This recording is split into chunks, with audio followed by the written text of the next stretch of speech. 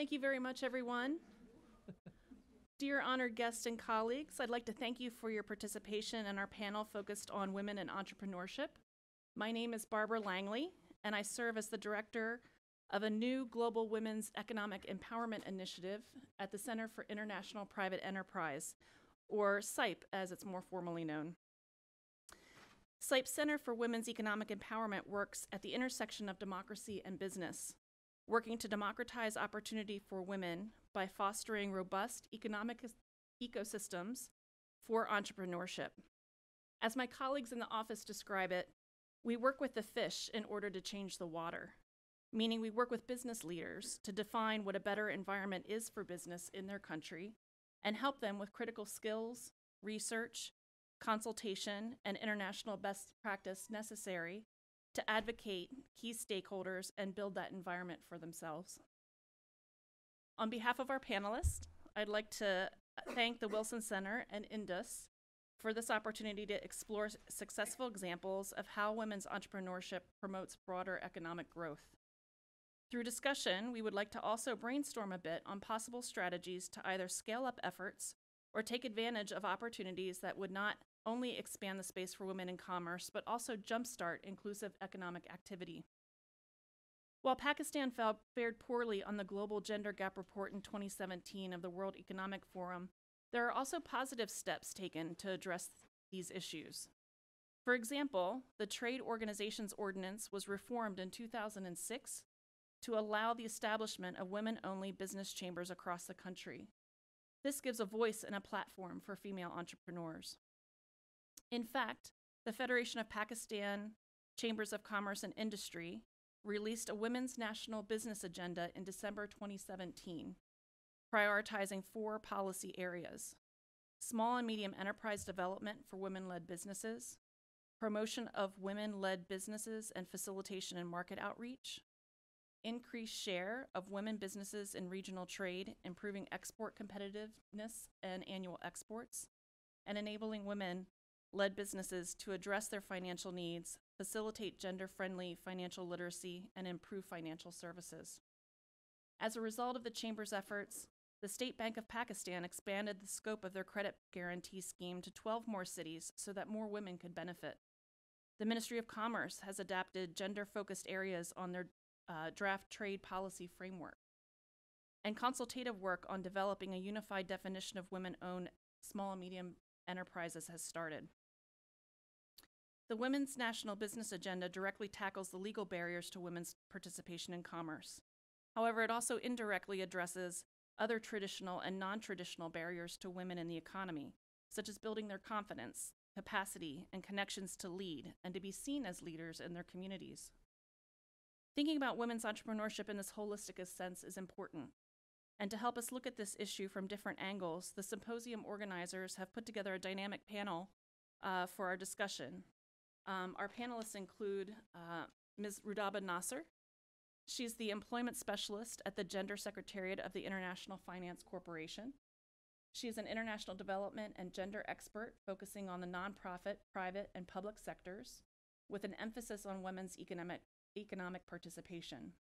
Her work expands experience in her native country of Pakistan to South Asia, Africa, Latin America, and the United States. We also have with us right now Mr. Naeem Zamindar. I hope I've got the pronunciation Perfect. correct. um, Mr. Zamindar is the former chair of Pakistan's Board of Investment. He has also served as a Pakistan country director of Acumen Fund, and has served as the CEO of Wateen Telecom Limited. We also hope and expect to be uh, joined shortly by Samira Abbasi, who is the manager of We Create in Pakistan. Um, this is the first women entrepreneurship center. She unfor- unfortunately was delayed to, due to visa issues and a further flight delay, but we're hoping that she'll be able to join us by the end of the, the panel. We Create provides facilities and business development support to women in business, and she's a strong advocate for women's economic empowerment, particularly through entrepreneurship. In addition, through the power of YouTube, we will also hear from Yasmin Haider, president of the Pakistan Women Entrepreneurs Network for Trade. She was invited to attend the symposium, but unfortunately was unable to attend.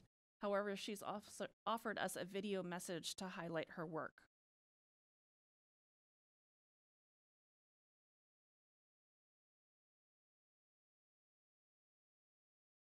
Uh, Ms. Andleeb Abbas to our stage to offer our spotlight address. Ms. Abbas, please.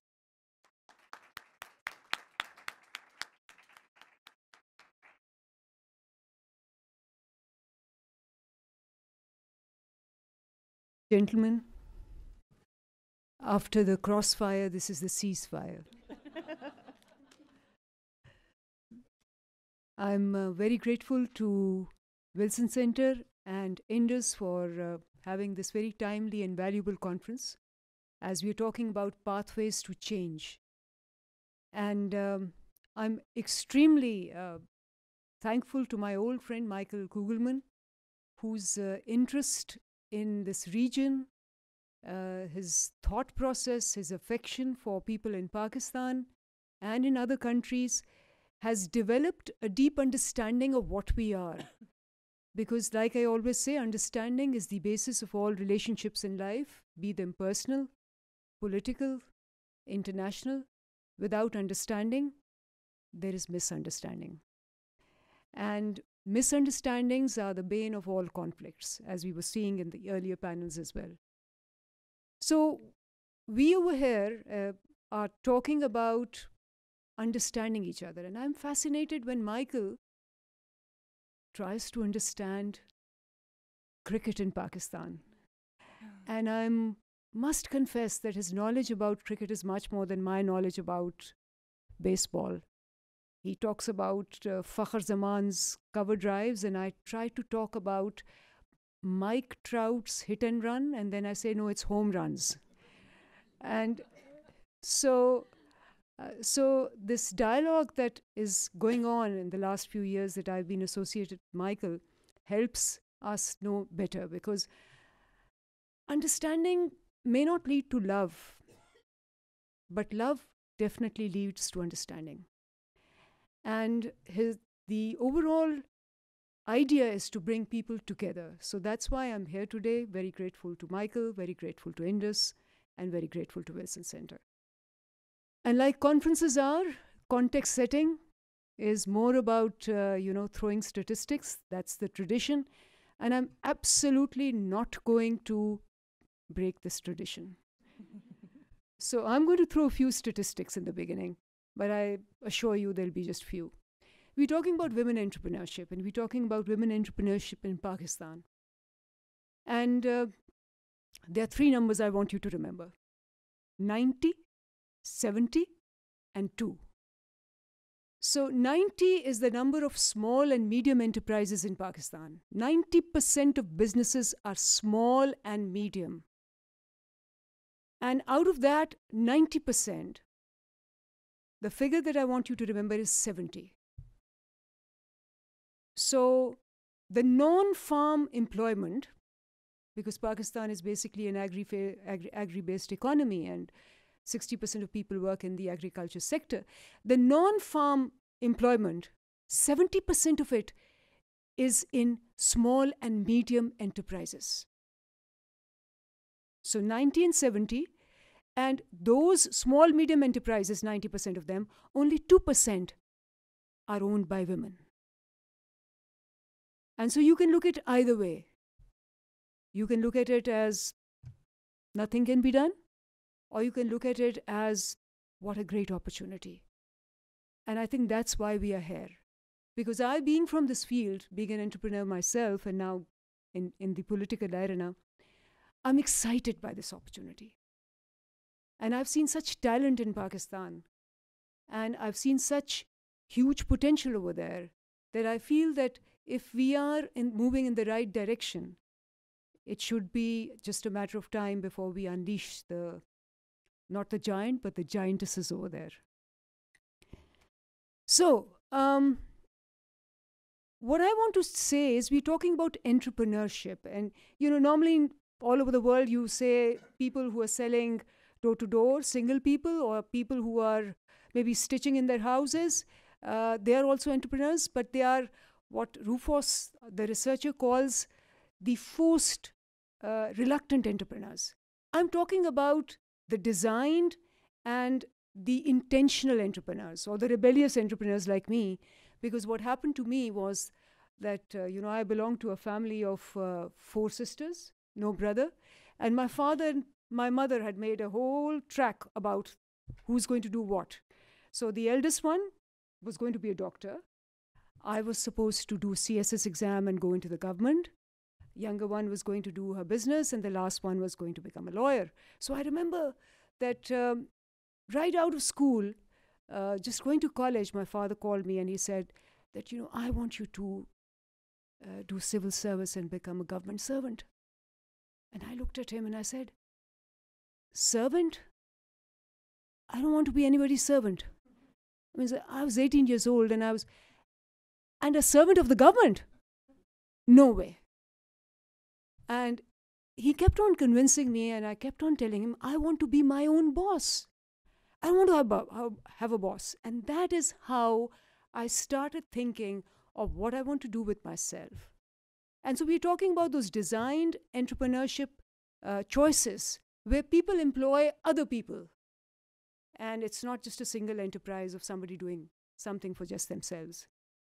So, coming into that category, I'm going to be talking about uh, entrepreneurship in Pakistan as three P's pragmatism, why it should be there, prudence, and finally the purpose.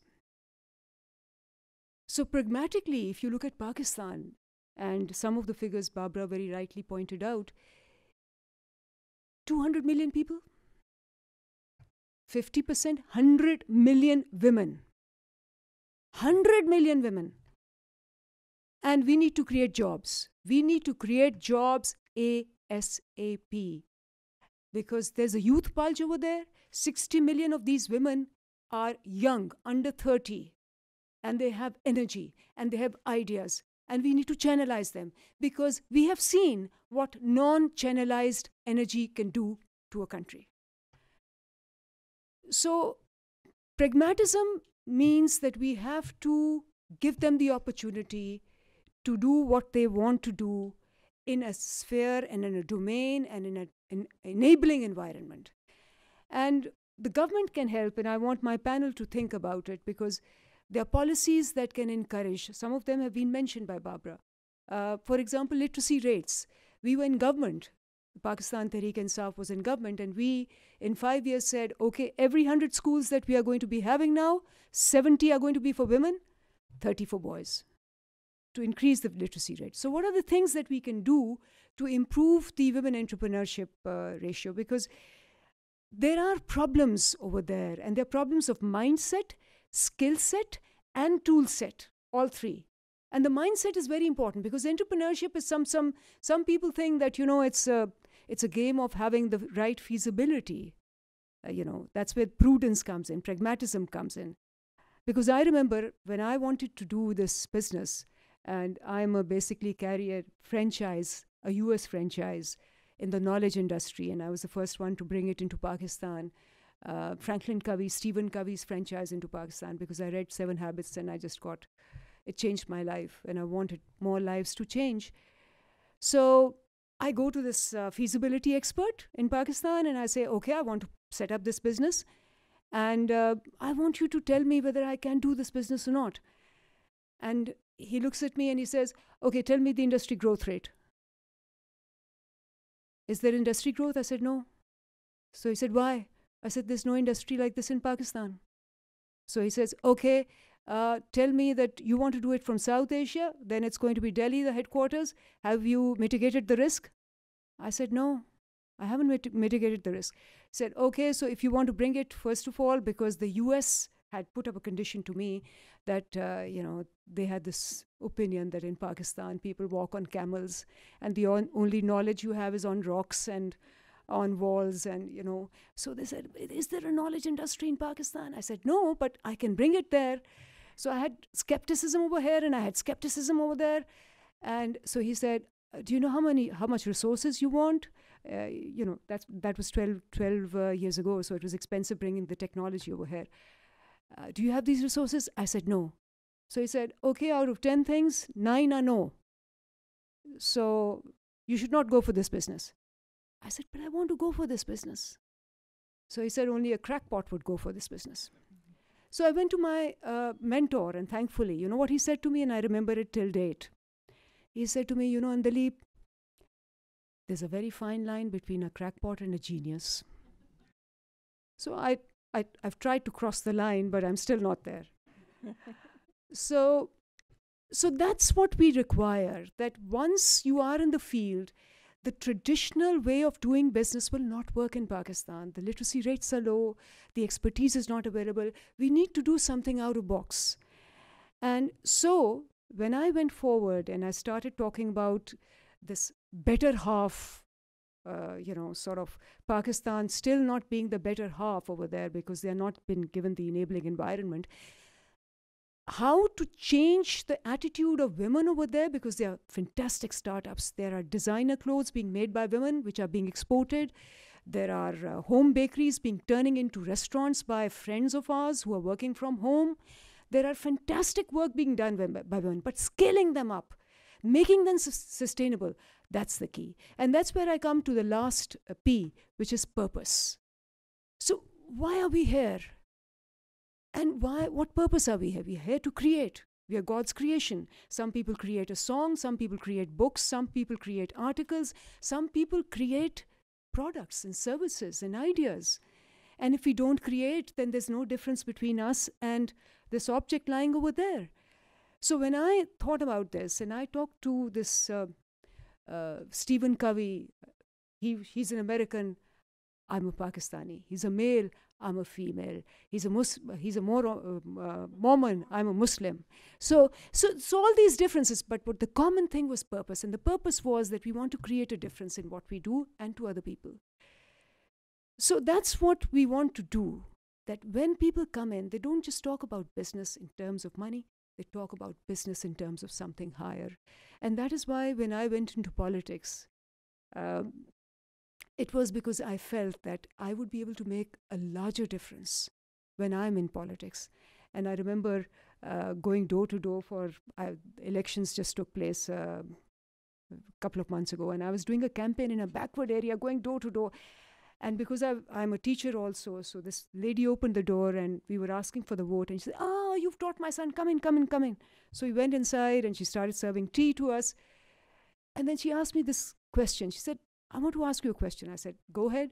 And she said, You know, you were doing such nice work, such noble work. You were teaching. It was so clean. It was so nice. What happened to you? you know, politics is dirty, but in Pakistan, it's not just dirty, it's filthy.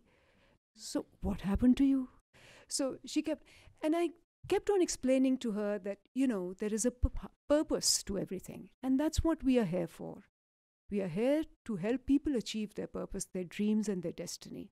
And at whatever level we need to uh, help them, enable them, and unleash them. And on the last note, I want to clear this misperception about Pakistan and about Islamic whole concept. My role model as a businesswoman was the first lady of uh, Islam, the Prophet's wife, Hazrat Khadija Tusura. She was a business entrepreneur. She was the one who introduced business in ceramics, silks, furniture, trade between Mecca, Syria, Yemen. She was 15 years older than the Prophet.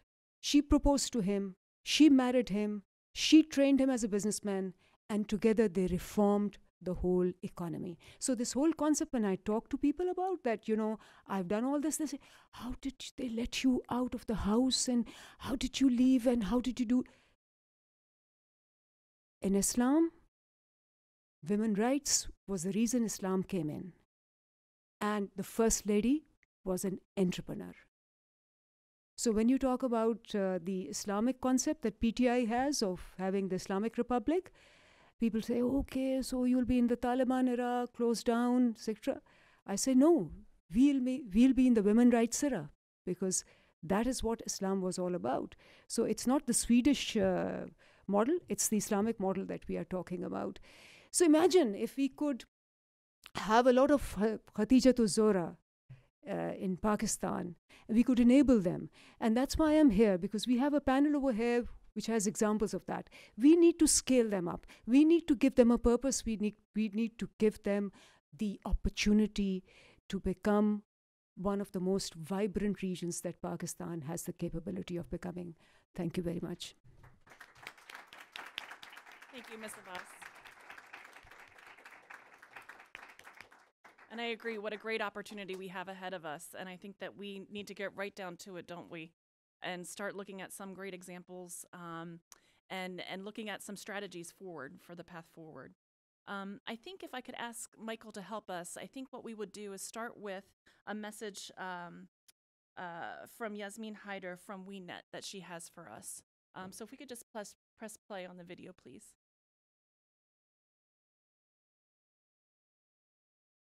Good evening and Assalamu alaikum from Karachi, Pakistan. I am Yasmin Haider, President Pakistan Women Entrepreneurs Network for Trade. My regrets that I was unable to be there in person due to family commitments back home, but I am very much there with you in spirit and excited that an August forum like today's is focusing on women's entrepreneurship in Pakistan. I would like to thank Michael Kugelman at uh, the Wilson Center and Amber Jamil at Indus for inviting me to be part of this esteemed panel. The founder of our country, Quaid-e-Azam Muhammad Ali Jinnah, once said, there are two powers in the world, one is the sword and the other is the pen. There is a third power stronger than both, that of the women. In an effort to unleash this third power, Pakistan Women Entrepreneurs Network for Trade, WeNet, was launched last year as a nationwide network to engage women entrepreneurs on a single representative platform. Our objectives are to represent Pakistani women SMEs globally by developing linkages with regional and international trade networks, and serve as an advocacy platform nationally providing suggestions for policy formulation with regards to gender to both public and private sectors. There is a dire need to gather data on women's entrepreneurship in Pakistan and so WeNet is continually developing a database of women-led SMEs to be used for trade policy and cross-sector partnerships. Improving female economic participation through entrepreneurship is crucial for effective and sustainable development of the fragile economies of developing countries. Growth in women entrepreneurship tends to affect a country in a much more transformational way, leading to overall growth that is generally not captured by traditional measures of economic development. Thus, it is crucial to enable women to start businesses and reduce challenges for existing women entrepreneurs. Women account for approximately half of Pakistan's population, but the labor force participation rate is only 25% compared to 81.1% for men. This is unfortunate considering the fact that women's economic participation, inclusiveness, and empowerment is recognized globally as being essential to the progress of a country and its economic growth. Thus, gender equality in employment and entrepreneurship is imperative for Pakistan to prosper. It is also essential to promote a tax-paying culture among women entrepreneurs, as women's contribution to the economy goes undocumented due to its informal nature. Pulling women into the formal economy is integral to increase the country's tax base and create an inclusive policy framework. In Pakistan, local startups are mainly driven by a young working population since under 30s make up for two thirds of our population, providing a strong private sector support is crucial to ensure a promising future for entrepreneurship. WeNet aims to support these young women entrepreneurs and millennials through mentoring and access to networks. 70% of women-owned SMEs in developing countries are either shut out by financial institutions or are unable to get financial services that are adequate for their needs. This means that there is a $300 billion annual deficit for women-owned enterprises in terms of access to capital, according to an IFC report 2017. Moreover, in Pakistan, women cannot register a business the same way as men. Such obstacles thwart women's entrepreneurial development. Pakistan WeNet has arranged one-on-one -on -one advisory sessions with banking and financial institutions to provide more information and clarity on the requirements. Some of our female entrepreneurs have adopted fintech as a solution to payments. Within our network, the challenges faced by, by uh, female entrepreneurs are similar to the ones discovered on a macro level. The biggest percentage of women in our network, that is small business owners, face the challenge of access to finance and dealing with government regulatory authorities. We have export-ready businesswomen who hesitate to participate in trade because of regulations and legislations. They simply need to be nudged in the right direction and provided technical advisory to scale up operations. Moreover, we look forward to contributing to the government's efforts in promoting documentation and expanding the tax base in the women SME sector. With regards to the challenge of dealing with government regulations, WeNet has highlighted the impact of trade policies on women-led businesses and has advocated for women entrepreneurs in Pakistan's strategic trade policy framework. In fact, ours was the only women's network to have participated in consultative sessions to implement the national policy recommendations hosted by the Ministry of Commerce in August 2018. Furthermore, we realized that women entrepreneurs need a network more than men because they work independently in silos. Studies show that women are three times less likely to know another entrepreneur as compared to men. Hence, a network for entrepreneurs has been extremely beneficial for sharing knowledge and insights. WeNet is blessed with strong male champions who support women economic empowerment in Pakistan. In fact, we are the only country representative women's network that has a predominantly male board of advisors, whose strategic guidance has enabled us to create an impact in a very short span of not even a year.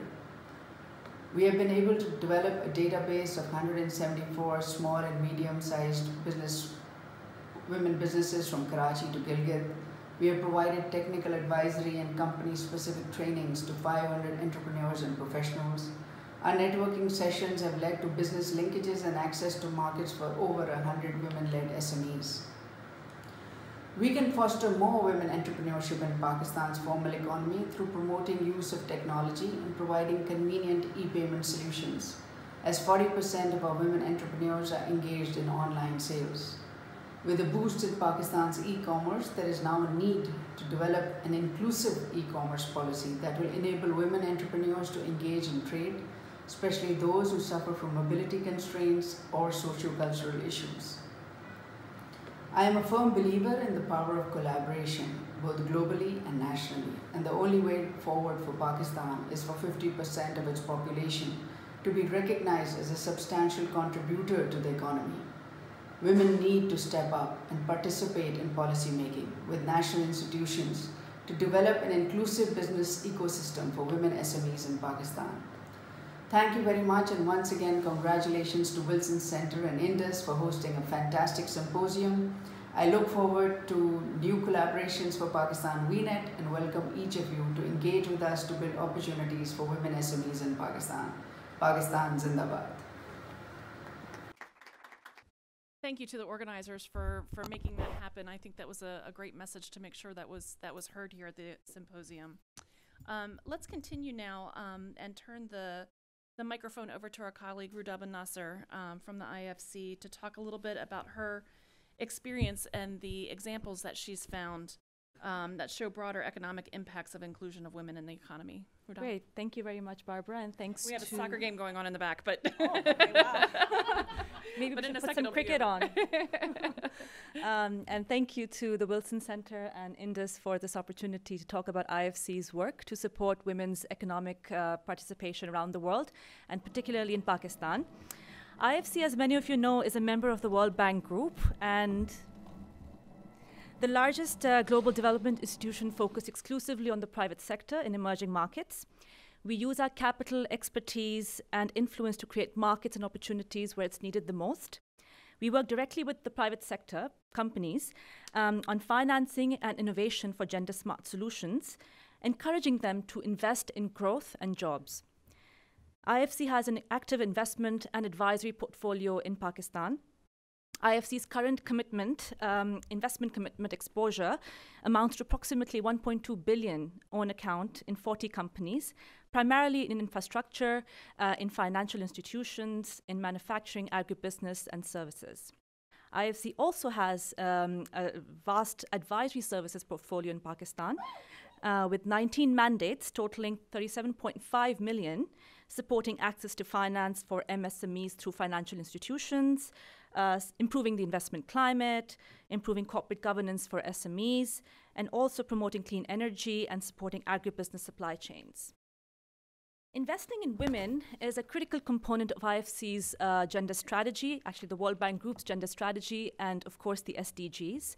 As an investor in emerging markets for over 60 years, IFC knows that investing in women is one of the smartest decisions companies can make to drive profits, growth, and innovation. McKinsey estimates that if women participate in the economy at the same rate as men, it could add up to 28 trillion to the global economy by 2025. Yet women face significant hurdles in almost all spheres of economic activity, from more traditional barriers, um, such as access to finance, skills, education, technology, and assets, to more non traditional barriers, where some of my work lies, uh, such as social norms, sexual harassment, uh, safe transport, and childcare. Um, hence, women's labor force participation has fallen over the last 20 years. Globally, women spend three times more time on unpaid care and household work uh, compared to men. And this figure goes up to 10 times, 10 in, in uh, South Asia, in countries like India and Pakistan. And more than 1.2 billion women in low and middle income countries do not use mobile internet, which makes it harder for them to um, set up businesses and open a bank account in their own names.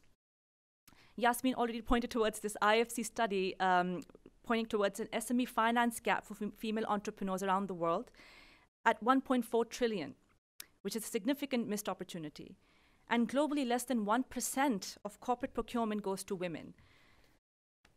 And although female entrepreneurs own and operate more than one third of small and medium enterprises in emerging markets and boost growth and create jobs, they tend to be smaller and fail faster. And also, in many parts of the world, women tend to be em- entrepreneurs out of necessity, that is, because they could not find a job, or social um, norms indicate that they must work out of the home or cannot leave their home. So the challenge is to identify those high growth, intentional entrepreneurs that can contribute to economic development. Yet, according to the World Economic Forum, it could take more than 200 years to close this gender gap gl- globally. And I'm sure we'll all agree we don't have that much time. So IFC has various programs in place to support women as employees, as entrepreneurs, as business leaders, customers, and community members. And I will focus on um, the employees and the entrepreneurship work that we're doing. Last year, we started a partnership with the Pakistan Business Council and its 80 plus member companies to advance women's employment in Pakistan's formal private sector. Now, the figure that's often quoted for Pakistan's labor force participation, female labor force participation, is 25 or 22 but women's participation in Pakistan's formal private sector labor force is less than 10%. Because if you take out the public sector employment, you take out women who are actively seeking employment, and you look at the private sector formal labor force participation, it's less than 10%. One of the lowest in South Asia, definitely the lowest in South Asia, and one of the lowest in the world. So, what we did in this regard is to bring the private sector companies together and train them in understanding and recognizing the business case for investing in women employees. You need to re- retain, uh, recruit, retain, and promote more women in the workforce, increase the number of women on boards, and for this, we I recently just I was in Pakistan actually um, just last week organizing Pakistan's first ever training for women on boards, um, focused on female directors who want to serve on boards, who already serve on boards, and even younger women who at some point in their careers want to be on boards. And what was in, interesting about this training was that we did not just focus on women because we can build up women as much as we, we, we want, but if male champions of change are not engaged, then it doesn't really make, make, make sense. So we engaged um, uh, male leaders, male champions of change, male board directors to really drive this agenda forward and also explore solutions um, that, that hamper uh, solutions to barriers to women's employment, such as childcare, sexual harassment, mobility, as I already mentioned. And as a result of our um, efforts in Pakistan, 13 Pakistani companies have made pledges to advance women in their workforce and are already implementing policies and practices uh, at the workforce level, um, such as childcare, with our help. And in December, we're launching a Pakistan specific company good practice guide and case studies um, of Pakistani companies that are moving the needle when it comes to women's employment. Um, and we would like this to uh, inspire other companies to act as well. We also advise companies around the world, in, in Pakistan also, on how to conduct assessments to identify what are the gender gaps in their workforce, um, and then help them develop an action plan of uh, uh, solutions that they can implement to address those gaps, and then also create the necessary environment uh, to support gender diversity and equality in the workforce and gain business benefits as a result. So IFC's research also shows that companies that invest in women's employment, hire more women, retain them, promote them, can um, improve business outcomes such as um, higher productivity, lower absenteeism, lower turnover, increased profits, um, and sustainability and employee engagement as well. For example, um, the Tackling Childcare report, which I produced last year, and now I'm leading a project to put this uh, report into practice, shows that when companies support their employees' childcare needs, because women and men have childcare needs, um, they can achieve better business outcomes, as I mentioned. And with respect to entrepreneurship, IFC's work focuses on enhancing the five C's. Um, so, focusing on capital, on confidence, capacity, connections, and contracts. And if we miss even one piece of this puzzle, of this um, ecosystem, um, initiatives are more likely to fail. So, we focus on a holistic solution for women entrepreneurs. On access to capital in particular, IFC's Banking on Women program works with financial institutions around the world to boost access to finance for women entrepreneurs. At the end of June 2018, our cumulative committed portfolio totaled 1.8 billion to 74 financial institutions, including Habib Bank, in 46 countries, including Pakistan. For example, IFC partnered with Banco BHD León, um, a leading financial institution in uh, Dominican Republic, to launch a series of products for women entrepreneurs. In the year after the engagement, over 30,000 women benefited from improved access to services. The bank itself saw returns of 35% and commercial loan growth of 26%. More broadly, the program helped establish a competitive race to serve women clients. In Pakistan, IFC worked with Habib Bank Limited to develop and enhance their internal gender value proposition for uh, employees, as well as their external value proposition for female customers we helped HBL roll out a gender sensitization training across all branches and for all HBL employees to better serve female customers, female entrepreneurs. And as a result of these efforts, the number of women owned deposit accounts increased by 6.7%, while the volume of deposits to women owned accounts increased by 10%. And we have seen this with our clients across the board, not just with HBL, but across the board, that those that, ha- that link their internal value proposition for women employees and leaders to their external value proposition for female uh, customers um, perform better and reach more women, um, as was also the case with the BLC Bank in Lebanon. The World Bank and IFC have also launched the WeFi initiative in 2017 the first round of financing was announced in April with 120 million for three programs designed to address financial and non-financial barriers facing women entrepreneurs in developing countries, including in Pakistan. Of that amount, IFC is managing about 50 million to be dispersed over the next few um, few months. IFC also is addressing concerns uh, and constraints around women's um, access to confidence, capacity, and connections. And our research showed that traditional tra- training solutions that focus on business management do not necessarily work. They need to be combined with mentoring, training, and access to capital and markets. So, where can the women take those business management skills and confidence, right? Um, and by partnering with commercial banks, IFC has launched its Women's Entrepreneurship Training Program, or Mini MBA, as it's called in Palestine, where we successfully delivered this program with the Bank of Palestine. And as a result of this mini MBA uh, in Palestine, women doubled their revenue, revenues and profits. They were able to register their businesses and create new jobs. So the number of employees um, working for mini MBA participants in Palestine increased by 28%. So there's a significant potential for job creation and job growth. And lastly, no matter how much training and financing you provide, as I mentioned, if women cannot sell their products, then there's no use, right? So, hence, access to contracts and markets is key. And IFC has now entered into a partnership with WeConnect International uh, to bridge this gap. In conclusion, a few lessons that we've learned, uh, challenges that we faced um, on this path. Um, is that training topics, whatever training topics you select for women entrepreneurs, they have to result, they have to be the result of a needs assessment that you've already done um, with the women entrepreneurs, understanding what is it that they really want. And also an understanding of the existing ecosystem is very important to see what's available in the market to support women entrepreneurs and then enter to fill that knowledge and practice gap. It is best if trainings are conducted in the local language and cater to a range of women entrepreneurs from different backgrounds and consider non traditional barriers such as women's care needs and mobility constraints. So, through my work with the Pakistan Business Council, three things I keep hearing again and again from companies that I've talked to, from women employees that I've talked to childcare, sexual harassment, and safe transport are key and they're impeding mm. uh, women's economic participation both from the employee side and from um, the, the entrepreneurship side. And IFC has solutions and tools in place that we're trying to now uh, you know, roll out to address these three barriers. Thank you. Thank you very much. I'm eager to keep in touch with you too and see how the project progresses. Yes. You know, you started with, I think, 13 businesses um, mm-hmm. in your project, and mm-hmm. certainly as you see revenues uh, increase, um, perhaps you know linking to to the program that you have. Certainly, that's going to breed competition in business.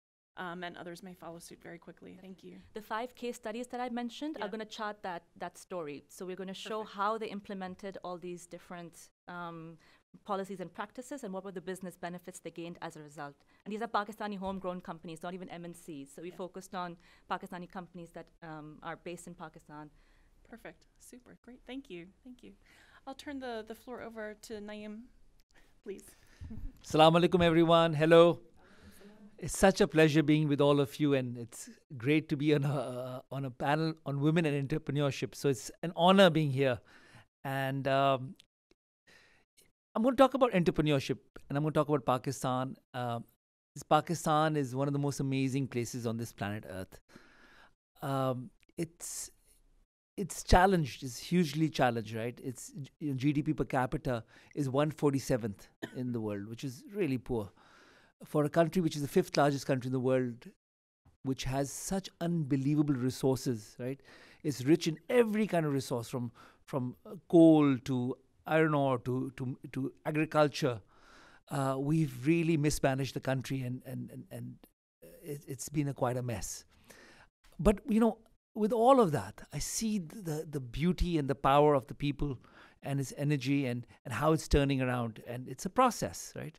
You know, 71 years ago, we were uh, we, we got our freedom. And what had happened was that over the years of colonization, we really lost our sense of identity. We'd lost our purpose. We'd lost a confidence in our own selves. And it's taken it's, it's, taken a long time to really get it back and i'm seeing it happen. I'm seeing the change happen now. And i'll tell you why and i'll tell you why i'm so excited about pakistan. I i, I truly believe that over the next 20 years we're going to turn around massively and pakistan is going to be a prosperous progressive country with you know with a really solid middle class. And with being the fifth largest country in the world, it's very well positioned in terms of market size, in terms of resources, and geographical lo- location. The you know the whole CPEC thing, people really get caught up in infrastructure. This is really minor part. It just connects us to, and integrates us into one of the most incredible markets in the world. A country which has, over the last 40 years, 40xed right its GDP per capita. That's unbelievable. And over the next according to the IMF, right, it's a $14 trillion economy right now. By 2030, it'll be a $30 trillion economy. That's $16 trillion of new growth coming up. And Pakistan is integrating into that economy. That's the big opportunity, the market opportunity, massive opportunity. And the, the, the thing that really excites me is that we live in very interesting times where the entrepreneurial revolution, right, the innovation revolution is transforming the world. I, I myself uh, was part, I've been an entrepreneur five times over, twice failed, three success stories. One of them was in the telecom sector, right? I was a fo- founding team member of this telecom company, which was started like many years ago. At that time, you know, you'd imagine, oh, we'll have, you know, 100,000 customers.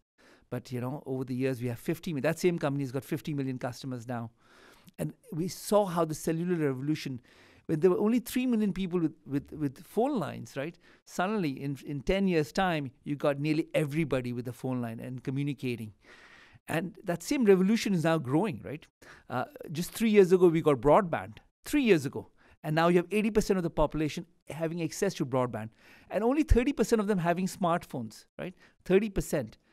But in the next three years, I assure you, 80% of them. There's a company that I've invested in, which is going to make phones affordable and give you free smartphones through advertising revenue, through installments, and many other ways. So there's a lot of creative innovation that's happening around it. These are revolutionary things. You, people don't realize the potential of what's going to happen because of all of that, right? This is not times for linear change. Education, healthcare, agriculture, energy, right? All of these things are going to become accessible to this population and empower their lives like never before. 71 years ago, we got out of our shackles, right, of this disempowerment. This is the age of empowerment, the age of abundance. And, and even no matter how much we screw up, we can't stop this change. Just, I hope we can accelerate it. I hope our leadership sees the potential of it and focuses on it and taps into it because it's going to change life as we know it.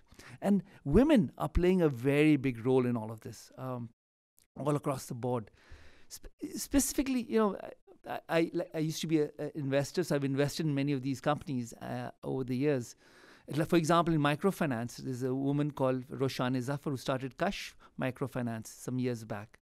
And we'd invested in her, uh, uh, and it turned out she's, you know, lent to half a million women over the last 20 years or so. And now 5 million, there are 5 million microfinance borrowers, right? Of which 3 million are women. 60% of them are women. And these are entrepreneurs, the kind of confidence that these women start getting when they start building their own business and get self employed and start that progress.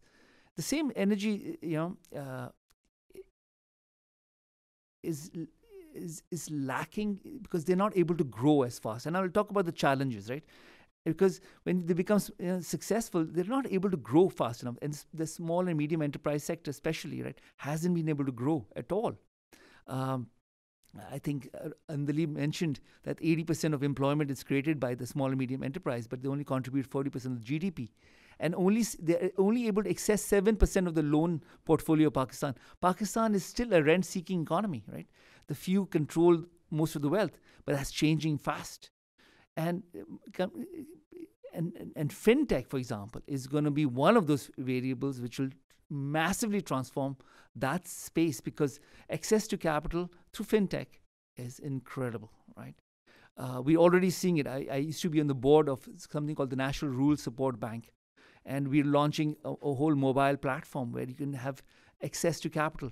You know, uh, we charge 30% interest rates to our microfinance borrowers right? Because the cost of lending to the poor is very high. And even though our cost of money is about, you know, 8%, but we lend it at 30% because of all the costs that go into it. But through mobile phones, that whole cost structure changes dramatically. And you can lend them at, you know, 10, 12%. And that changes the dynamics. According to McKinsey, by 2025, just fintech alone will expand the economy by 40 billion, which is about 10% plus GDP growth just by fintech alone, right? And create 12 million jobs. It's phenomenal, right? Um, education, healthcare. So, uh, in healthcare, for example, there's an entrepreneur, and I, I, used to run Acumen in Pakistan. Uh, it's a woman called Sara Khurram, which is running something called Sehat Kahani. And in this company, what are they doing? These are two women doctors who graduated, right? And 70% of the graduates from medical schools are women because they study harder and they're a little smarter than most of us guys. Uh, but 70% of them drop out of the medical profession in the first five years of graduating and, and, and training as doctors. What a waste, right? But these women wanted to do something with their lives while they were raising children, and primarily because when they get married, uh, they're normally trophy wives, right? People, and once they get married, they have children. You know, this family pressure to stay at home. But these women, these two women, started this company called Sehat Kahani, which is leveraging them, right, by by by allowing them to work whenever they can, right, uh, through telemedicine and through mobile phone ap- application technology. And it's going to be able to tap in, into 70,000 doctors who are at home, who want to work. And wow, what a resource that's being unlocked. And digital technology is doing it. We also have somebody here, Shazia Khan, right? She runs uh, a startup called Eco Energy. And I, I, was just talking to her right now. Um, and energy access for the poor, right? Uh, there's an amazing new technology, right, which can make it affordable for the poorest of the poor, right? And these home systems, and she, she, her ambition just inspired me at lunch today.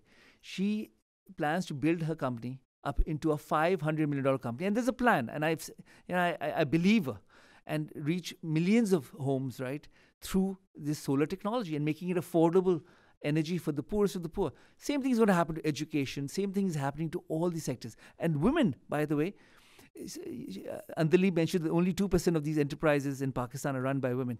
But in terms of social enterprises, 20% of all social enterprises are run by women, right? So there's a much higher number of women entering into, into, into that space. Because women are naturally collaborative. One of my most successful enterprises that I've worked in was um, I used to I used to live in Silicon Valley. I used to be a venture capitalist, and I and I got inspired by meditation, right? Um, and I went back to Pakistan to teach meditation, and I found uh, the first person I worked with was, and I, I, I my my co-founder was a woman, and both of us made a great team, and we built this into an amazing organization, where we taught over hundred thousand people to, to meditate 10,000 of them were well to do, right? For the well to do, when they meditate, they realize how interconnected they are, right? For the poor, when you teach them meditation, they realize how powerful they are. This, they experience their own power. And we run this program where really, and I'm going to leave you with three points in the end. So I'm coming to a place where when eh, we leave them with one thought, right? And this is and unbelievable. And this is a question you should ask yourself as a, what are you responsible for? Right? And that's the question we would leave them with. And in the end, they'd come to the, this conclusion that you are responsible for everything. That you can't blame anyone. When you're disempowered, you feel that you don't have the power to change your life, right? And once the poor start realizing, oh, that I'm responsible for everything, I can't blame anyone, it just changes the, the whole dynamics of power, right? And accessing their own power and their own power to be able to change the destiny. So we saw that you know these individuals have the capacity to transform their lives when they're empowered, when they're given the belief. So the three policy things that I will leave you with, right? One is that we need to inculcate a sense of belief in ourselves as a nation. And that's why I'm really excited. Even though I worked in the previous government, I used to be a minister in the previous government, right? I worked just for one year and it was just a phenomenal experience. I really enjoyed being a part of the previous government. But at the same time, you know, I, wh- what I love about Imran Khan and the new leadership, at least Imran Khan, right, is his sense of belief in himself, his, his ability to rise up, to say, we can do it. And that's the kind of energy we need. That's what gives me faith and confidence that we can and we will. It's, we have challenges, but once you have that spirit, you'll find a way. You'll fall a few times, but you'll get up, you'll go and make something incredible happen.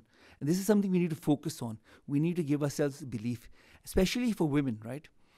One of the uh, incubators, uh, I'm an uh, advisor to a, one of the incubators out of Karachi called Nest I/O, right? And it's run by a woman and in the first cohort, there was only one entrepreneur uh, who was a woman. The last cohort had 55% of the cohort being women. That's phenomenal. This is a massive change just over the last five years, right? By the way, the whole entrepreneurial ecosystem is really starting to take off just now. It's just a new phenomena. Five years ago, there was zero incubators. In just five years, there are over 35 incubators in Pakistan, right? There used to be like less than 50 startups. Now there are over 500 startups coming up every year. And this revolution is just taking a, a hold. So belief is the one, right? And again, we really need to focus as a nation and, and, and, and women, especially entrepreneurship, when they believe in themselves, when they see somebody else doing it, we haven't had enough role models out there. We really need to get out there and, and create those role models. So we have Shazias, we have Andleebs of the world, and many more who are transforming that. Belief is one. Second one is really finances, right? Whether it's for the microfinance, we saw that once they even get expensive capital at 30%, it's, they start changing their lives, right? And the small and medium entrepreneurs, again, if they get a little bit of capital, they start changing, they start growing. And, and, and, and venture capital, oh my God, instead of, you know, eh, eh, they've been talking about raising $8 billion to build a dam. If they just took out $1 billion from that, I'm telling you the kind of impact it'll have on the venture capital uh, and, and, and the kind of solutions we can bring to market, nearly every challenge of ours, including water, energy, they can be fixed. There are solutions out there, right, which are more innovative. So finance is a key one, right? And we've got to make sure there's finance available. And the third one is really ease of doing business, right? When I used to be the ch- when I was the chairman at the board of investment, this is one one thing we found, which was the biggest impediment, right, for the small and medium enterprises, because you know, for the rich, the ones who are doing rent seeking, they benefit from it being very difficult to do business, right? Because it stops competition from, coming in. And it forces those who are corrupt to work around the system, right? And really, this is what really messes us up. We got to make it easy to do business. We are ranked 147 out of 192 countries. That's terrible. And hopefully this year, a little bit of work we did, we started building some traction towards it. Hopefully the numbers will improve this year's in this year's ranking. Uh, but we have to. While I was there, we made a plan, and, and the plan was to be in the top ten, right, in the next five years. And it's doable because, you know, you just need to role model who's doing it best in the world, right? Just copy the processes. Everything's available out there in this day and age, and it's not that difficult to do. And the biggest driver within that is digitalization. Digitalization can change government, and it doesn't take that long to change things, right? Like we, it used to take 28 days to start a company. We, we did some initial digitalization. Now we can do it in four hours online, right? And it can be done in minutes if you really want to. And, and, and so digitalization, simplification, and getting government out of things is the way forward. These things it cannot be done overnight, but in the next five years, we can get there. And if you are in the top 10 or top 50 even in terms of ease of doing business, you create an environment where the small and medium entrepreneurs can grow. And with a little bit of capital and belief, we will have a revolution on our hands, right? I had organized a conference uh, on on how do we get to 9% GDP growth rate. And it was unbelievable, right?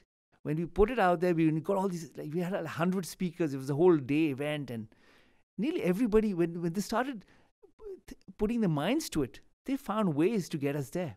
And it's easy. China did it for like 30 years. They did over 10%. And for a country where we're starting at like, close to, you know, uh, as low as it can get, it's quite easy. Nine, if you just do 9% GDP growth rate for the next 20 years, right, you can quadruple your GDP per capita over the next 20 years. That takes you into a middle income country.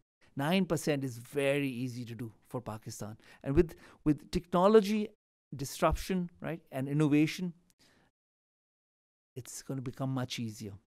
And in this digital age, where in Pakistan, where a lot of women have a disadvantage of not being able to go to the workplace because it's very inconvenient, you can be at home and you can be running the world, right?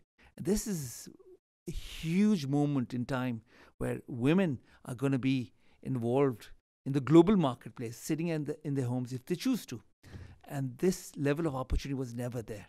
And it's opening up to all of us. I met um, this really phenomenal woman who came out of a small village in Sindh, right? Um, she had a, uh, uh, she was a bonded laborer, and and and through the internet, right? She she learned to learn uh, stuff and um, and she had some access through some some means. And now, you know, I, I, I met her in the U.S. Uh, uh, like a year back, and she lives in New York. And she is and she was she was very brilliant, right? She, she's super smart. She's a genius, and therefore she was able to find a way because she was so bright. She found a way. This was not possible even ten years ago, right? Now, because the internet, you, they have access everywhere. If you're smart, you have the talent, you can make things happen. Everything is, is becoming possible. This is the age of empowerment. That's why I'm very, very excited about Pakistan because all our challenges are massive opportunities. And therefore, this is the best place to be if you're an entrepreneur. Thank you very much. I think as we continue our discussion, if you'll indulge me for a minute, I'd like to test a theory that um, my colleagues and I have been talking about over at CIPE on you. Um, if you look at uh, women in Pakistan's economy um, and you think of it as a pyramid, and at the top of the pyramid, you have uh, very powerful women, perhaps part of the elite, um, that are wealthy, that, that don't necessarily need investment. They've, they've been able to do well on their own. And if you look at the very bottom of the pyramid as those um, entrepreneurs that you, you have described as um, entrepreneurs out of necessity, those that are focused simply on livelihoods, that a, a small amount of credit or something ha- is able to change their lives. Um, the theory that we have is that while that's important and that has made great gains, it perhaps has not had the multiplier effect that um, could really unlock uh, the, the growth opportunity for women entrepreneurs in Pakistan. And so, where does it leave the, the, the middle sector in the pyramid, the, the small and medium enterprise sector? Um, first of all, do you agree with that theory? And then, second of all, um, what are maybe three priorities or three strategies that should be focused on to unlock the potential of that small medium enterprise sector? And I'll ask both of our, our panelists. Again, I'm just like I said, it has to become much easier to do business, right? Mm-hmm. Because right now it's too complicated and, and too difficult. But it's becoming much easier. Like I said, like you should, you have to fill out 25 forms to open a bank account. Now you can open a bank account online digitally, right, within 15 seconds because everybody's uh, you know biometrically verified. Massive change. So ease of doing business, access to capital. Again, fintech is going to play a huge role in that, right? Access to capital, and, and third is belief, right? Really giving them more confidence because these these women uh, at the bottom of the pyramid. Uh, they don't they, they just don't have the confidence and once they start seeing each other that they see role models they start changing you, somebody's got to give them the belief that they can do it mm-hmm. and it starts happening absolutely Rudaba, would you like to Great. Um, yeah, as I mentioned, holistic solutions that address the five C's. Um, so addressing needs needs of capital, but also the confidence, the capacity, the connections, and access to markets. Um, also, I think as women expand their businesses, we need to improve their access to risk mitigation tools, so mm-hmm. access to insurance, uh, just helping them hedge their bets and just take because sometimes that leap of faith.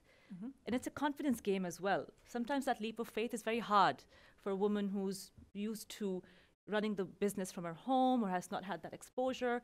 So, are there any instruments we can put in place, some insurance, uh, you know, uh, health insurance, even business insurance, uh, that we can provide for them to make it easier? And then also, in addition to doing business, I think addressing and our colleagues at the World Bank with the Women Business and the Law team has done a fantastic job of charting out legal differences between men and women. Mm-hmm. So um, we need to make it also easier for women in particular to do business. So, are there any legal restrictions uh, in terms of hours worked or um, do they need their husband's permission to get an ID card or a passport or to start a business or register a business? There are these. Or perhaps zoning perhaps issues. zoning issues. All of that. We need to have. Uh, we need to sort that out. So, any legal restrictions hampering women's ability to do business. And then we need more data. I think uh, in Pakistan, we need to understand have enough sex disaggregated data to understand what the gaps are mm-hmm. and how then we can design the right policies to, to address those gaps. So I would see, say the five C's risk mitigation tools, uh, policies uh, that um, are making it difficult for women to um, start up businesses or enter the workforce or work, and data. Thank you. Thank you both. I know that we are still hoping that uh, our other panelists um, can join us. Uh, she's on her way from the airport, so we'll see how that goes. But in the meantime, let's open it up for discussion um, and take a few questions, please, sir. Uh, and if we could, if you could just uh, wait for the microphone and also give us your name and your affiliation. Yes, hi, this is Shazad Habib from Indus, a very informative panel. Uh, thank you for the comments. Uh, I had a question uh, more about venture capital in Pakistan, and uh, I guess the question is more about uh, there is a sense that venture capital is emerging in Pakistan, but yet in the West, there's a sense that it's still at a nascency stage. So, any any comments on that would be useful. And I guess the second comment uh, related to that and to the women's is do women have access to venture capital in Pakistan? And and if not, what is the potential future of what that would look like uh, from your from your standpoint? Thank you. So, uh, venture capital is a new phenomenon in Pakistan. Um, th- there was one which was started about uh, 15 years ago, TMT Ventures. It didn't do too well, and since after that, not much happened. But now, uh, over the last couple of years, we're starting to see the emergence of that uh, category. But still, it's it's you know, Pakistan has been able to attract say 50 million dollars of venture capital a year, right, in Pakistan, while in India, right, venture capital and private equity is raising about five billion dollars a year. So it's very much under uh, the yeah, uh, uh, uh, uh below uh, our requirement. We really need to 10x it over the next few years to be and and and and, and make make this a, a major asset class. Um, so a lot of entrepreneurs and like there's Shazia over there. She's right now raising a round of funding and it's taken a long time. She, she spent eight years, right? So it's much harder raising money in Pakistan. Uh, with her idea, what she was working on, she should have done it a few years back, right? Uh, and just because it's Pakistan, it just takes much, much longer to convince people and to raise the money. So this is one area where the diaspora, and again in tomorrow's uh, session, they, the diaspora can play a very big role in terms of bringing the know-how to do the, the venture capital industry and the funding for it as well. Mm-hmm. Uh, my name is Kami, but thank you very much for your very insightful presentation. And my question is about the general contempt uh, for ladies uh, in uh, Pakistan, or I mean, in many Muslim countries. And my question is, do you think Benazir was assassinated by M- Musharraf Goon or by Pakistani army just because she was a woman? Because you know they killed her uh, her dad, but there was a, some legal process they followed. Whereas in the case of a woman, they just didn't give care and they just eliminated her in public. So uh, my question is again, does it has to do anything with Islam? Because I, I mean, many conservative Republican in America think that Islam doesn't give enough respect or sufficient respect to women. So is that the reason? Thanks. Please, we need you. I'll leave.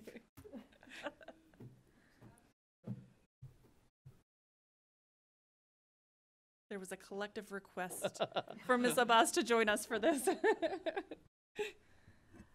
well, um, well, well. um, I think uh, let me just be very open about it. One, of course, uh, we are lucky that uh, we had a female leader. America still is waiting for one. Um, but as far as uh, I think it's more of the position, not the gender. Anybody, like I was just mentioning when I was uh, talking earlier on in my uh, spotlight speech, um, politics all over the world is dirty, but it's much dirtier in this part of the world. So I think it was not just that, that she was a woman, I think it was her position that other people wanted.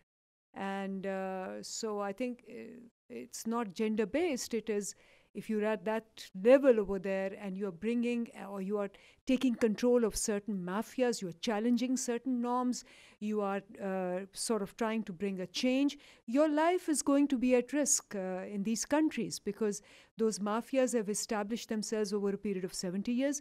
Even now, while we are uh, there in the government, uh, the security uh, agencies tell us that uh, you know they're life threats because uh, the traditional mafias which are there as far as uh, businesses are concerned, media is concerned, uh, the status quo over there, uh, they are not willing to let that happen. So I don't think so. Benazir was uh, assassinated because she was a woman.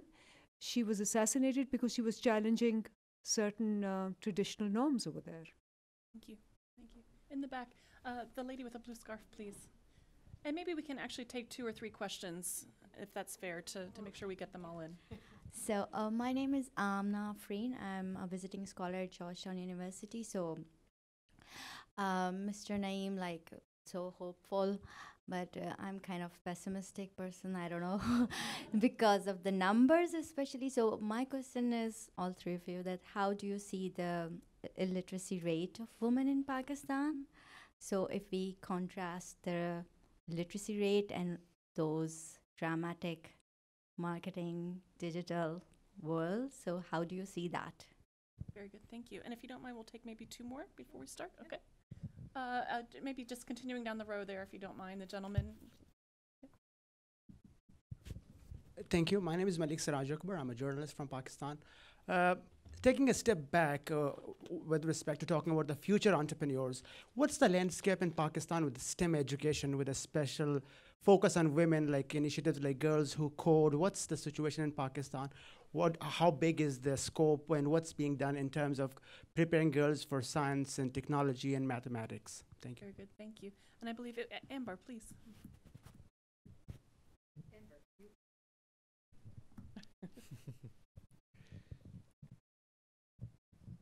Thank you so much. I am Amber uh, with Indus. Um, the question I have is I'm, I'm particularly particularly intrigued with a certain subset of women potential entrepreneurs. Uh, we know that this is a country where 60% of the population is under the age of 25 years of age. We also know that there's been some significant gains made in tertiary education. So when you think about that group of young women, somewhere in the you know 25 years of age, who have made some great gains in terms of education, what do you think the landscape is? What is the immediate need that this group has so that we can really create, um, you know, leverage the resources that have been put into this group and allow a ripple effect to take place? Super, thank you very much. Why don't we go ahead and turn to our panelists? So the questions were on literacy, STEM education, and kind of unlocking that, that power of that group of, of, of young women that have made gains in education. Um, Great. please. So I'll take the one on STEM and also on um, the younger age group.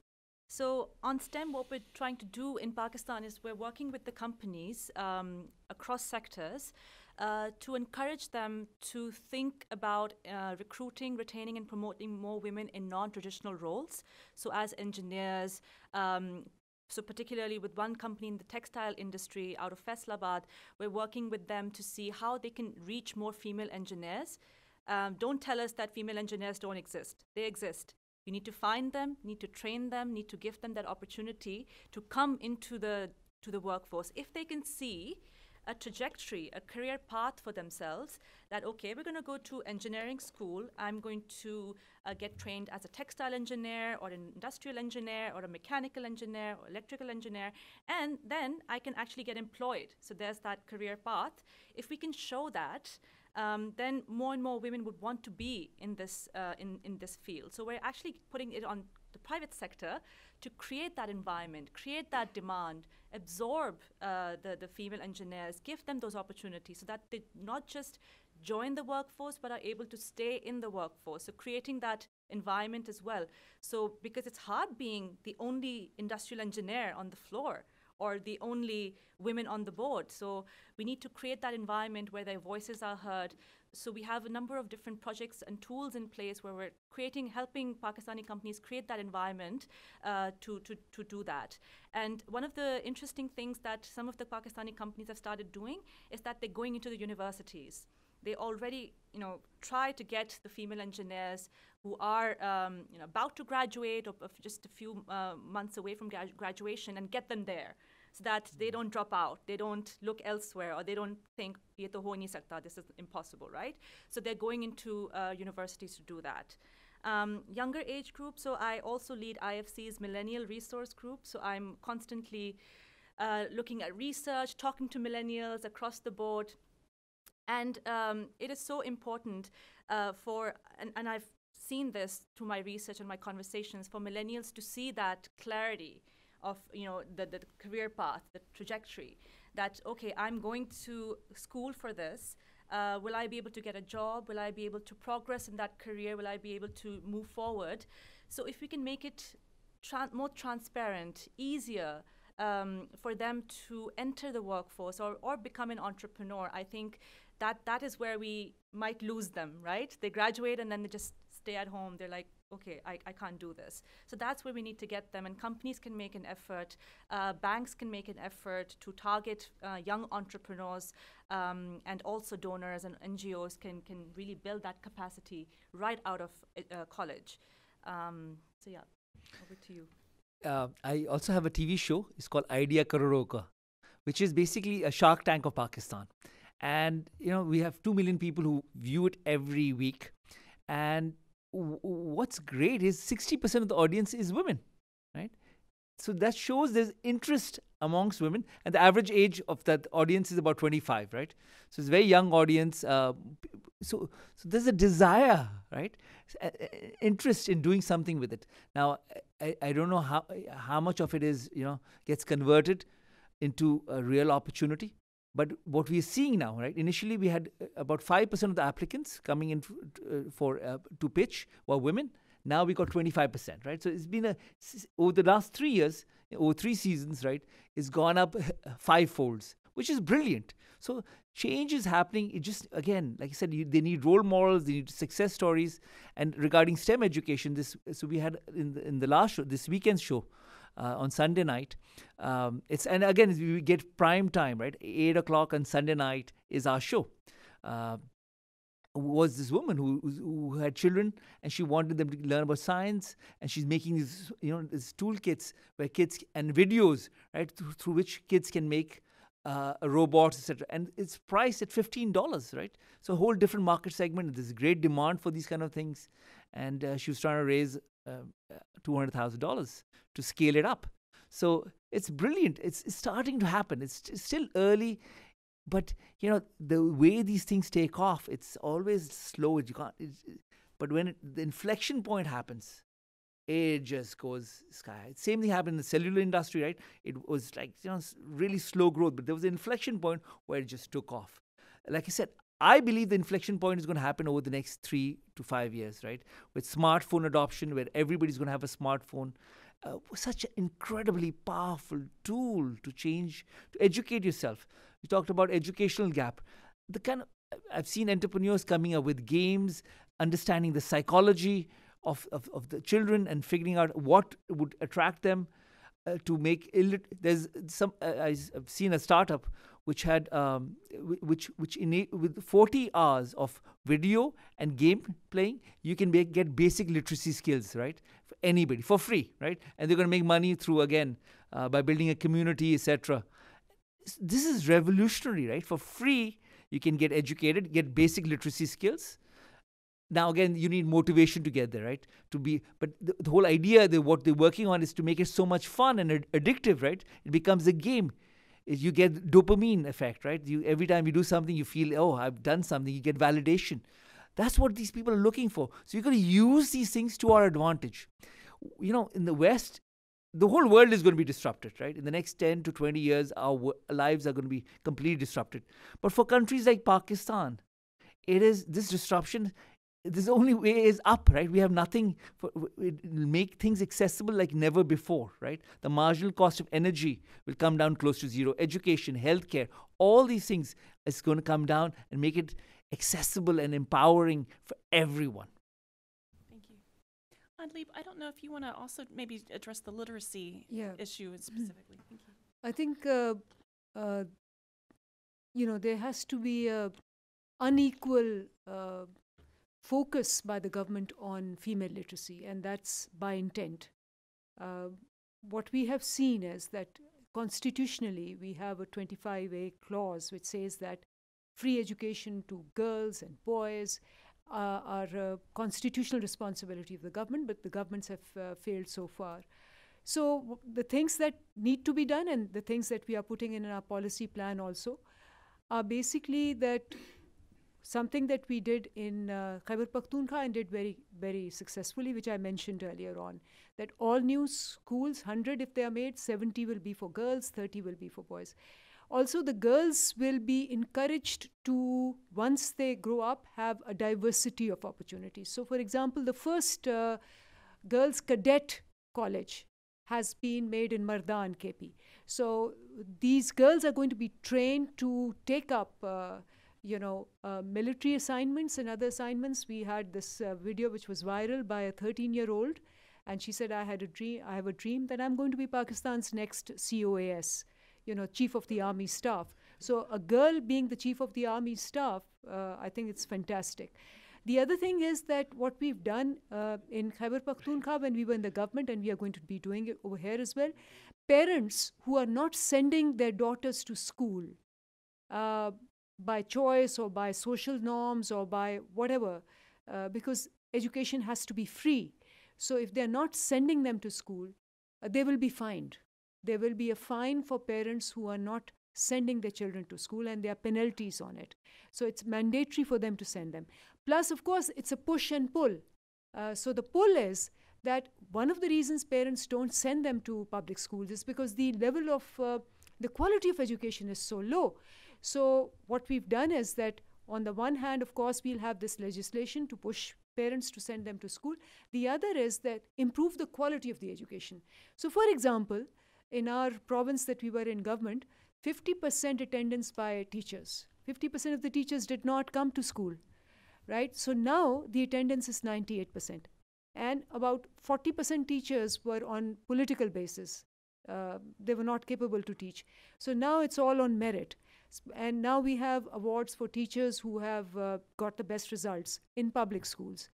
And that's what our aim is that until and unless public schools are equal to private schools, we are changing the three three different levels of uh, education there's the madrasa education there is the private school education which is only about less than a million people go to private schools and then there is the mass public uh, school education we are making the syllabus one for all three of them and we are making sure that the same quality same syllabus same studies are going to be available for uh, uh, students uh, in the next coming four or five years. We've started that process and had a lot of success in Khyber Pakhtunkhwa, and we are going to do that uh, to improve the education level in Pakistan, hopefully by 2023. Very good, thank you. There was a gentleman here on the left, and then maybe we can come back here on the front. Assalamu alaikum. Uh, my name is Asif Khan. I work for an uh, NGO called Helping Hand for Relief and Development, and we are investing about $10 million in Pakistan on average for last 10 years.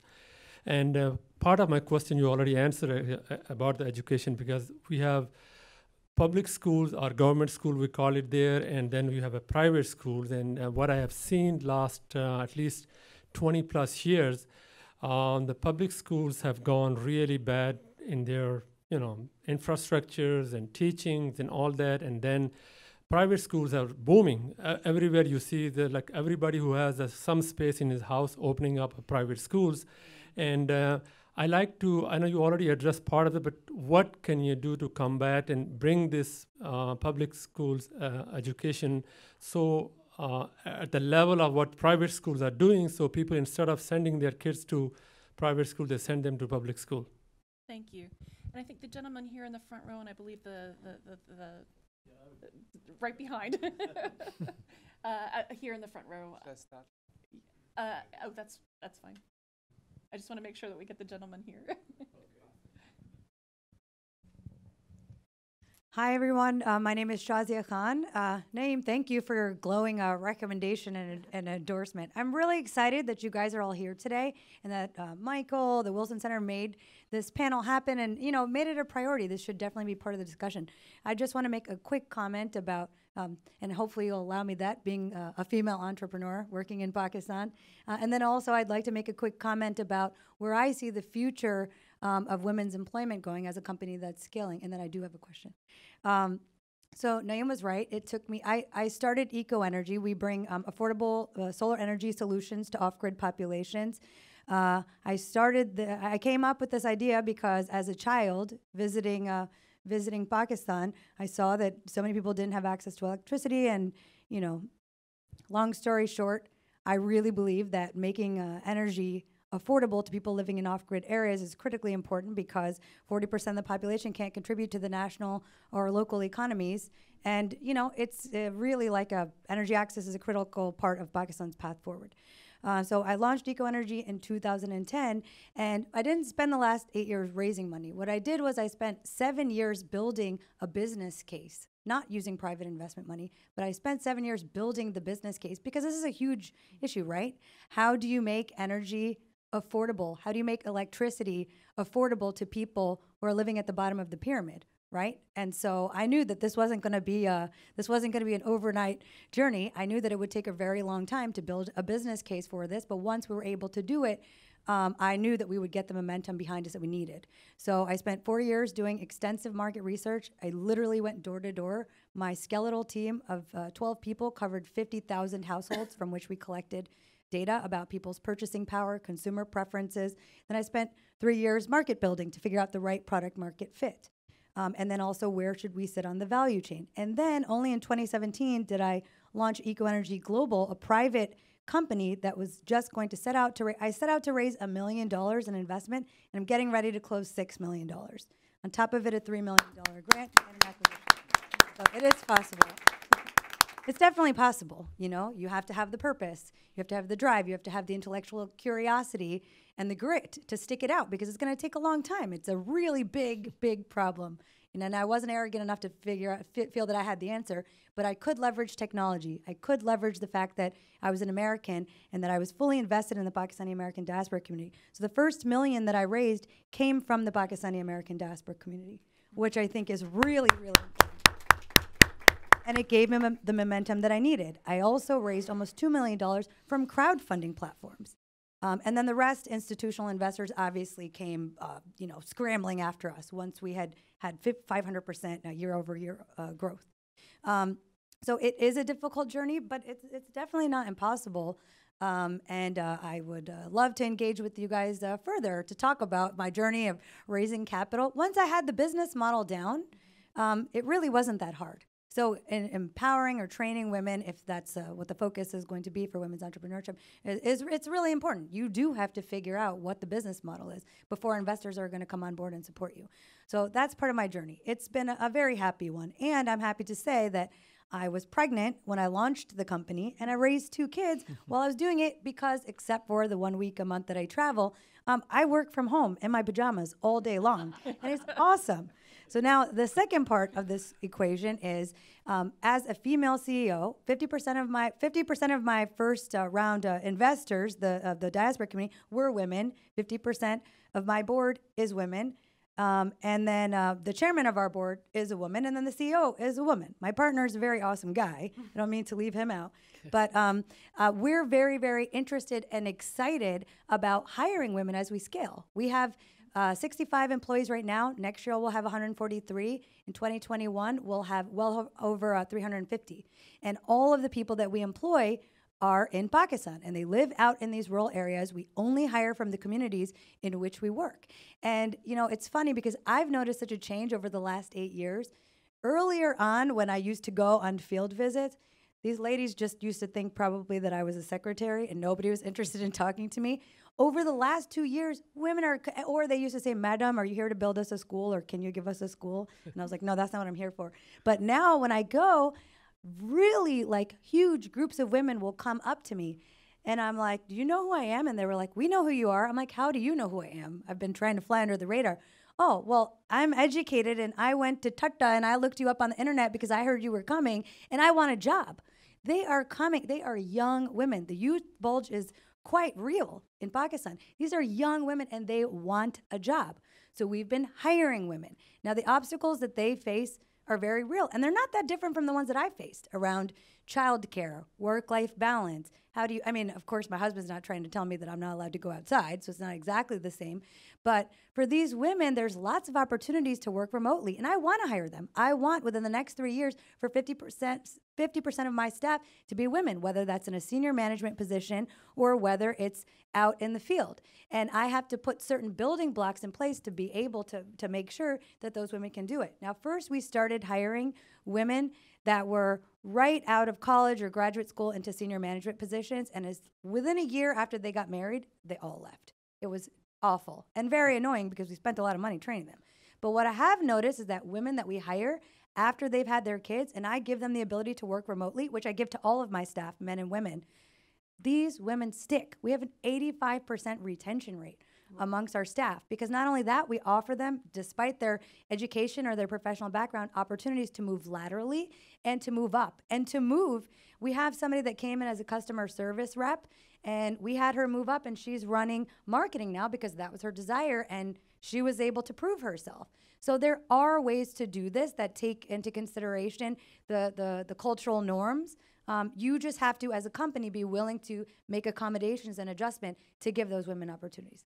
Um, so my final, que- so my actual question for you guys is, um, how can companies like EcoEnergy, who are maybe not large multinational companies that the IFC usually engages with, how can growing, scaling companies like mine, which I imagine to have, uh, I, I hope will have a thousand employees within the next seven years, how can we work together and engage with you to make sure that these women have this? Not all these women want to be entrepreneurs, by the way. A lot of them just want a job. And I'm happy to give them a job and to accommodate them because I know that they're loyal employees. So uh, that's all I have to say. Great, thank you. Yeah, and I think there was another, uh, and if we could pass up to the front row, actually, to, so the, the microphone's right behind you. Thank you. I'll be brief. I I have a question. Uh, I think Mr. Zamindar talked about uh, macrofinancing in Pakistan. Could you tell us a few success stories and you know how, how well it is going in Pakistan? And I have a question for um, about the public and private schools, you know, being the same in Pakistan. Uh, I, I am in favor of it. I hope uh, that happens soon, but I think it's going to take some time.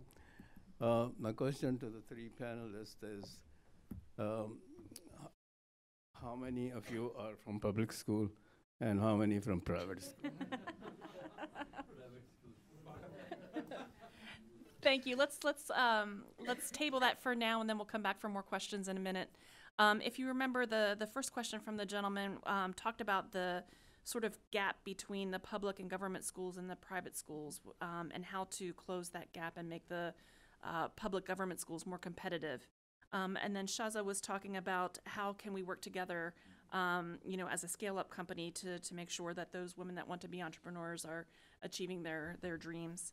Um, and then the the last question from our from our um, from our colleague was um, about the the public private schools and and how many of us are how many of us including me are from public schools um, and and and and otherwise i don't know that i count though because i was from i'm, I'm from pennsylvania please Private school. Private, but born and raised in Pakistan, so Pakistani private school. um, private school, but I just like to address the Please, question yeah. because it's relevant to. Um, you're absolutely right, and you know the difference between uh, U.S. and other countries and Pakistan is that the difference between a private and a public school is like zero to 100 uh, in Pakistan, and I would like to you know sort of just uh, mention the things that, and you must be aware of them that 70% of public schools do not have toilets, washrooms. And they 40% schools don't have boundary walls. 35% schools do not have drinking water. You can imagine a child going in such circumstances to study what can they study? So the first thing that we did was when we took government in uh, Khyber Pakhtunkhwa was to make a basic skills upgradation furniture furnishing plan. That all schools and that there were tw- 28000 schools at that time we were targeting will have you know there was there were schools which did not have elect- electricity for 3 months. There were schools in which three classes were taught in one small room so it's difficult for you people over here in this country to imagine such conditions but 90% of pakistanis were studying in those schools and you can imagine that if basic facilities are not present, how can anybody even force people to send uh, children on the, even, even if they're free of cost? Plus the teachers, like I told you, the ratio of the teachers over there. So the first thing was to upgrade them and make them livable, habitable, where basic human facilities are present over there. Imagine you don't have electricity, don't have a bathroom, don't have water to drink, then what are you? Are you sending your people to Dead Sea or what? So that that is the state of schools over there so we are going to be now that we are in government that's the first plan upgrade the facilities over there. That requires huge amount of capital also, resources and budget also, you can imagine. Uh, there are lakhs and lakhs of schools and they all lack these facilities. So it will take some time for them to equip them with basic facilities. Second, of course, is the question of quality of education. And the quality of education, there, there's a two-pronged uh, approach. One is the curriculum to make it modern. Now, for, for example, madrasas, we have 2.5 million children studying over there. And it's because of poverty. And if we blame that these children are coming out and they are not contributing productively or they are becoming terrorists or whatever, well, look at what, what the curriculum is being taught. So you have to bring them in the mainstream line. You have to be inclusive and engaged with them. Why isn't a judge and a, a lawyer and an engineer and a doctor coming out of them? Because the curriculum over there and the conditions over there are so bad that you, you don't expect them to be anything but resentful when they see the more privileged classes living differently. So you have to remove this difference between the education system. Education system has brought a class difference, a mindset difference, and it is creating such resentment in the country of those who can speak English and those who can't, those who have degrees which they can go and get employment from. And IFC will be knowing that because I've taught in LUMS and I've taught in the best universities in Pakistan. When we, and I teach business, so when people go out from there, uh, uh, you know, and they give interviews to companies and they can't speak proper English and can't write a single email properly, even if they are master's degree, they don't get jobs. So you coming out of these institutions at all levels, getting master's degree, not getting jobs, becoming aware and becoming even more upset and resentful. So our, our whole focus is how do we upgrade physical facilities? How do we improve the level of teaching? How do we diversify opportunities for people to be gainfully engaged, constructively, uh, inclusively coming into the foray of life and business as such? It's a tall ask, but without that, there's going to be no change. Education, health, and environment are the three top priorities of this government. Great, thank you. Other questions or other responses? Uh, regarding the microfinance, uh, there are 5 million borrowers in Pakistan, uh, but you know the need is for at least 30 million uh, potential target uh, uh, borrowers. In Bangladesh, there are 30 million borrowers, right? so very similar in terms of population, etc. So, so it's, it's still very underserved, and there's a massive potential. And again, digitalization and using mobile phones will be a great way of being able to extend reach to many more people and, and having access to capital for them. So yes, uh, it's thriving. Interest rates are very high. Average is 30% versus, you know, normal banking uh, customers would have to pay 10 to 12%. So, so it's significantly higher. And we need to reduce that too. Great. On um, what IFC is doing and can do, so multiple ways. Uh, we're conducting research on the business case. I think that's critically important to make the case for uh, women's economic participation. We're collecting the data, and I have with me uh, these case studies, and you're welcome to have a look. We're telling the stories of women entrepreneurs like you, getting the stories out there, inspiring other women entrepreneurs, making it easier for them, um, and making them think that this is possible. And it's possible because they can have access to capital, they can have access to connections, um, to, to uh, contracts, to capital, to confidence. So, all of that, we're trying to tell the stories through case studies, through um, role models, as you mentioned as well. So, collecting the data presenting the data and the business case research is very important because unfortunately, uh, globally, people still don't understand the business case. They come at this from a human rights perspective.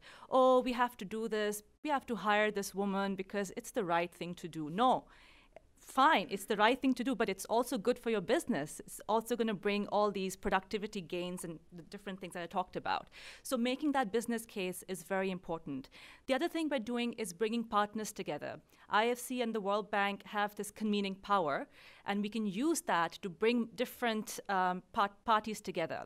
So, what we've done is we recently launched a Digital2Equal partnership, which is bringing together different digital platforms that in turn employ millions of women um, for example, um, yeah, as, as drivers or as home based workers. So we are bringing all these companies together to, to think through how they can improve opportunities for women, how they can improve their employment practices, um, their con- contracting practices, they can collect the right data and fill those gaps. So, bringing all these different parties together is another thing that we're focusing on.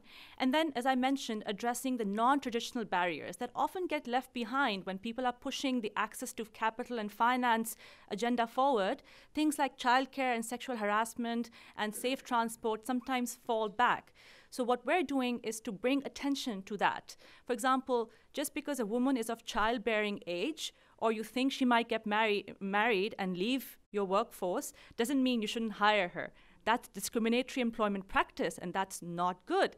You should hire the woman and then create the necessary environment or give her the right policies or the right accommodations like breastfeeding rooms, like toilets, like a childcare facility, maybe a community based childcare center, or a partnership with the government, or something to address those constraints, to address the social values issue. If you think it's a social norm issue, if you think it's a infrastructure issue, then bring your business acumen and your um, you know, money behind that and, and hire that woman even if you think that you know she might leave because she leaves not because she wants to leave but oftentimes she leaves because uh, that's that's how it is, and that's how the uh, workplace environment is structured. And but we're trying to change that through our tackling childcare initiative. We're working very closely with the companies, and then we received this um, this demand or this you know we c- continue to talk to our stakeholders, con- continue to talk to the companies, to the employees, and then they asked us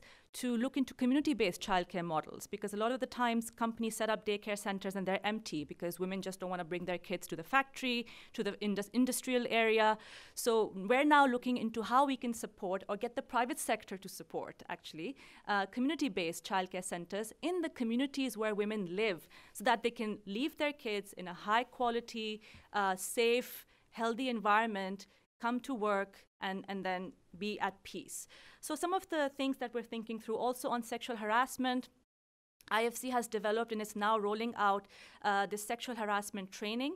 We, we don't call it sexual harassment because people are like, what? We didn't do any sexual harassment. So we're trying to make it look like it's respectful workplaces. Let's all build a respectful mm. workplace, which is good for women, good for men, and harassment can be of different forms. Sexual is one of them, but there's also verbal, mm. there's physical. On the factory floors, if yeah, it, it, it, can get physical, it can get verbal. So we're trying to build respectful workplaces, and we have tools to do that. Um, and we're doing this not just in Pakistan, but also in East Asia Pacific, in Papua New Guinea, and Solomon Islands, um, in these um, conflict affected um, uh, low income and fragile areas as well where, where no one wants to go but we're going there to, to impart this training to uh, help build these respectful workplaces and on and public transport is, is linked to that because a lot of the harassment takes place when women are traveling to and from work and that doesn't mean that women should just stay at home just because there's harassment outside. So, no, you should work from home. No, we give them the option to choose. If they want to stay at home, great. But if they want to go out, they should have that option. So we have uh, trainings around that and helping the private sector to think through solutions and not just think of this as a cost center. Um, oh, we have to invest so much money because yeah, uh, hiring a bus service is hard or setting up a daycare is hard. But we're making them again coming back to the business case that this is an investment now, but it's going to reap returns mm-hmm. as you move forward. Thank you.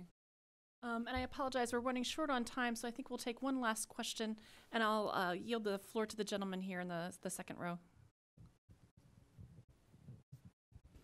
Uh, Peter Humphrey, I'm an intelligence analyst and a former diplomat. Um, you mentioned uh, the radical changes in interest rates, and I wondered if, amongst a substantial fraction of the population that is very conservative, uh, the women, or more likely their husbands, will be completely turned off by the fact that you are working an interest Western model of banking rather than an Islamic banking model, and whether this might be a pretty serious impediment to the participation by many of these conservative women. Thank you. Uh, you're absolutely right. All our research tells us that is true. And uh, all the microfinance banks are now working towards developing Islamic products for the same market segment.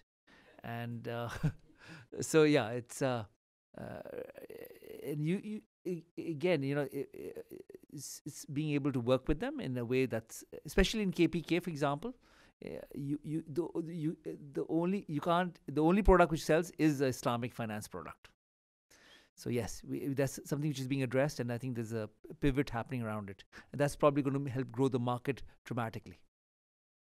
And I think uh, just to clarify, this uh, whole concept is the largest growth in Pakistan in any case is in this direction.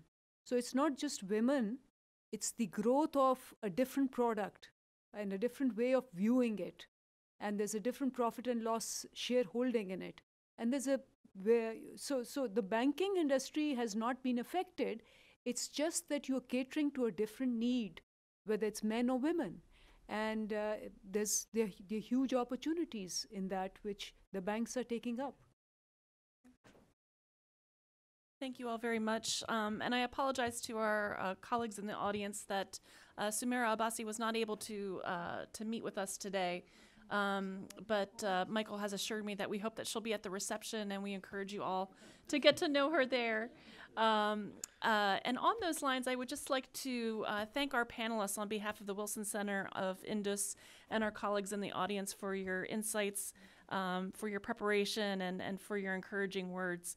Um, and Andleeb, I'm really struck by your, your opening quote about um, misunderstanding and how that causes conflict, and how we really need to focus on understanding each other, understanding each other's needs, um, and, and building that kind of respectful environment. So, thank you very much. Thank you.